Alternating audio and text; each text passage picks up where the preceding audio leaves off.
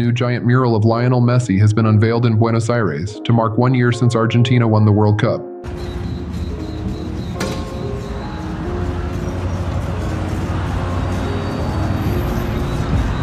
This mural was created by Martin Ron, and according to him, the whole process took three weeks from start to finish.